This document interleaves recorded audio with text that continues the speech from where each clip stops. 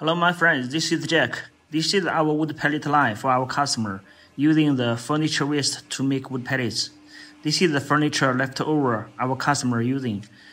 First, we need to use a wood chipper machine to crush all the waste wood into wood chips.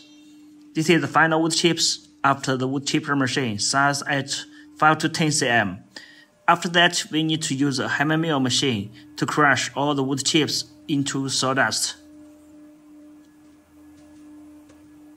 This is the final sawdust after hammer mill. After the hammer mill, the moisture of sawdust is 10 to 20. We can use them directly to make wood pellets.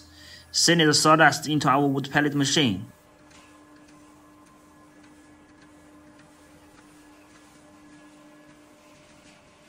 You see the final wood pellets come out from our pellet machine.